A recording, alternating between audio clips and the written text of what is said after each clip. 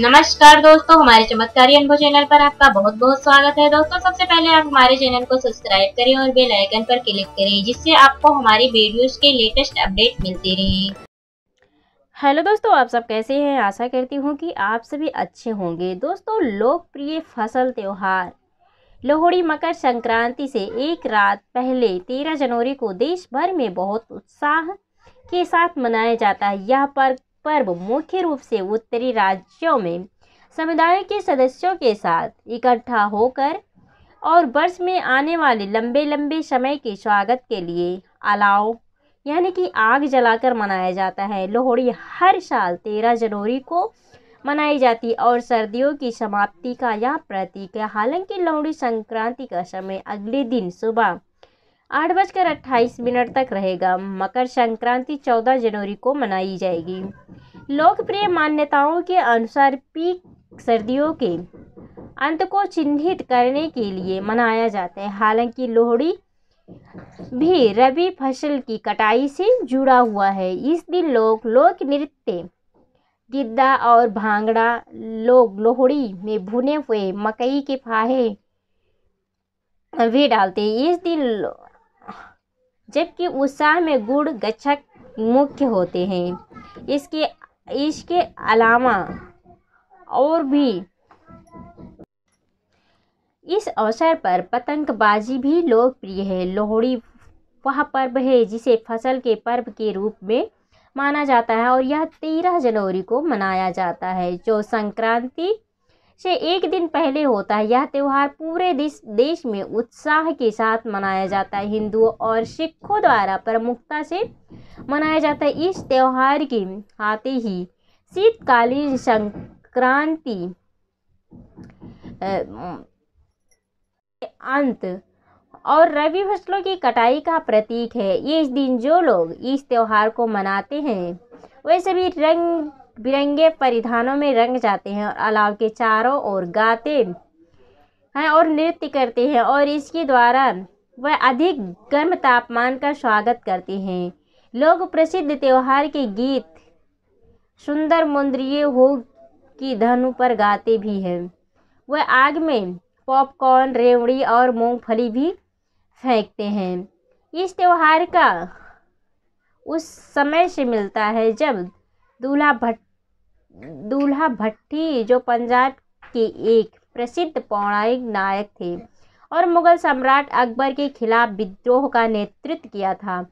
उनकी बहादुरी के कार्यों के कारण वह पंजाब के लोगों के लिए एक नायक बन गए और लगभग हर लोहड़ी गीत में उनके प्रति आभार व्यक्त करने के लिए शब्द हैं। यह त्यौहार पंजाब में रबी फ़सलों की कटाई के मौसम की शुरुआत और सर्दियों का अंत का प्रतीक है। लोग अपने उपस्थिति के साथ और बम्पर फ़सल के लिए सूर्य देव को श्रद्धा और सुमन अर्पित करने के लिए लोहड़ी मनाते हैं। पहली लोहड़ी को नई दुल्हन और नवजात शिशु के लिए बहुत शुभ माना जाता है। यह प्रजनन क्षमता को दर्शाता है और यह त्यौहार किसानों के लिए भी बहुत महत्व रखता है। भारतीय कैलेंडर के अनुसार लोहड़ी पोष के महीने में आती है और इसके बाद पतंगों का त्यौहार मकर संक्रांति आता है। यह माना जाता है कि त्यौहार शीतकालीन संक्रांति से गुजर जाने, होने का स्मरण कराता है। यह पंजाब में रबी फ़सलों के फ़सल के मौसम की शुरुआत का भी प्रतीक है।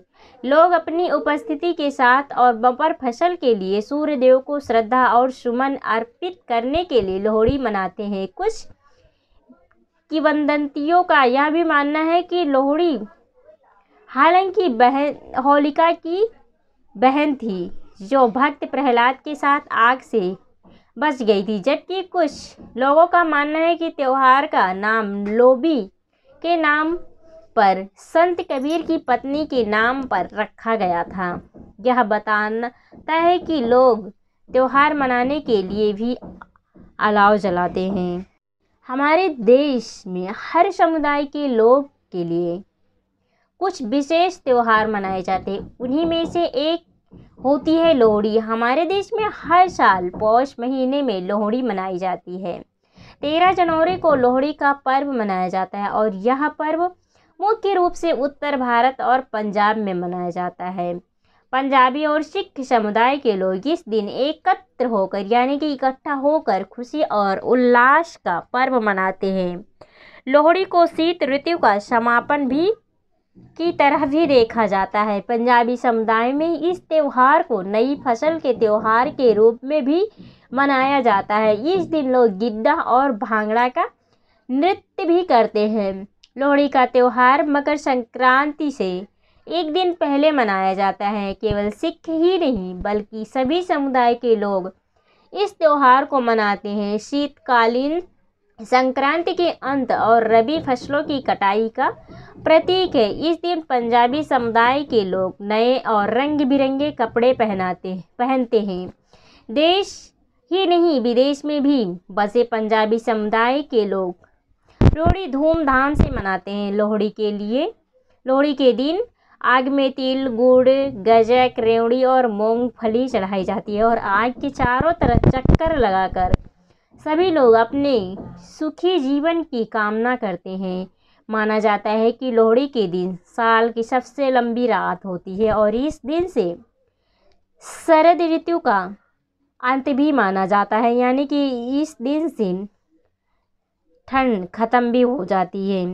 दोस्तों, अगर आपको हमारी वीडियो अच्छी लगे तो अपने परिवारजनों और दोस्तों में ज़रूर शेयर करें। चैनल पर नए हैं तो सब्सक्राइब करना ना भूलें, ताकि आने वाली वीडियो की वीडियो की सभी नोटिफिकेशन आपको मिलती रहे। ओम नमः शिवाय।